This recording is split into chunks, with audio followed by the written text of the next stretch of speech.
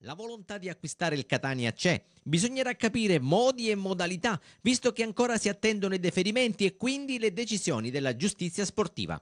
Lunedì potrebbe essere un giorno importante per il futuro societario, con una cordata di imprenditori interessata a rilevare il club. Il vertice sarà coordinato dall'assessore comunale Girlando, che insieme al sindaco Enzo Bianco sta seguendo tutte le fasi per la cessione della proprietà.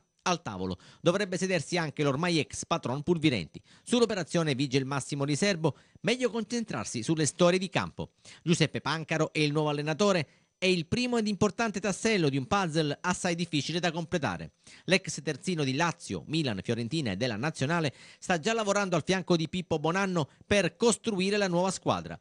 Senza il campionato di riferimento però risulta complicato muoversi sul mercato. Per questo motivo la dirigenza etnea sta operando prevalentemente in uscita. Perde ancora pezzi la colonia argentina, ormai ridotta a pochissime unità, con Rinaudo ed Escalante pronti ad accasarsi rispettivamente al Gimnasia La Plata e all'Eibar. In questa foto la firma di Escalante che sancisce il legame con il club spagnolo. Valigie pronte per Spolli, corteggiato dall'Empoli, Ghiomber, conteso da Sampdoria e Palermo e per Belmonte e Del Prete che potrebbero continuare a giocare insieme nel Perugia. Richiestissimi anche Maniero, Calaiò e Rosina con il fantasista calabrese che potrebbe essere l'unico big a restare rosazzurro anche in Lega Pro.